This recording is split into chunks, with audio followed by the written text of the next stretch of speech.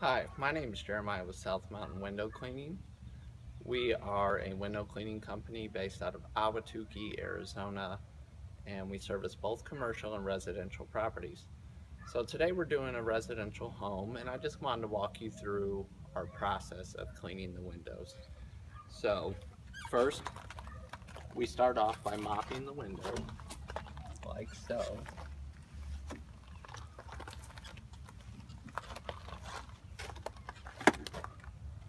Second, we take a scouring pad that will not scratch the glass. So that's one thing you need to make sure of is that the scouring pad you're using will not scratch glass. And we get all the dirt broken up that's on the window.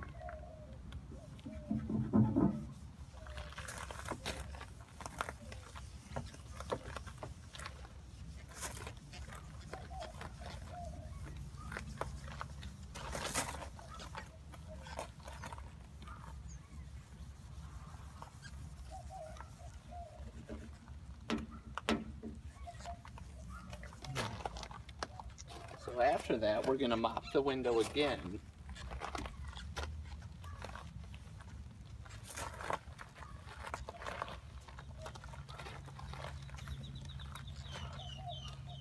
Then we're gonna squeegee the window. Now we use a Sorbo squeegee.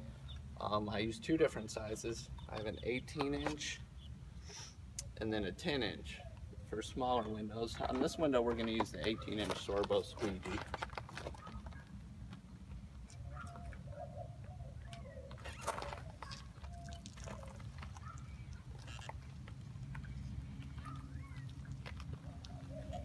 So after we remove most of the water and soap from the glass, we're gonna take a clean towel and wipe around the seals of the window.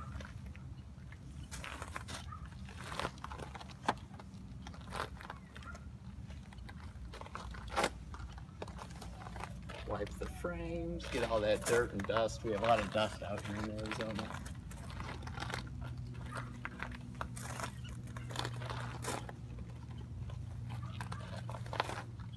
And that is our process for cleaning residential windows.